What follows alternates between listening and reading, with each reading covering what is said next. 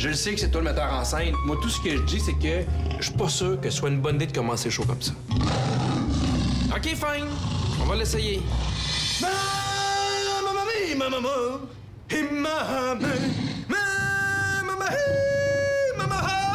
Pierre Hébert, le goût du risque, en tournée partout au Québec. Billets en vente sur pierrehébert.ca. T'avais raison. C'est vraiment une bonne idée. Ouch! Mon beau tout doux. Tout doux.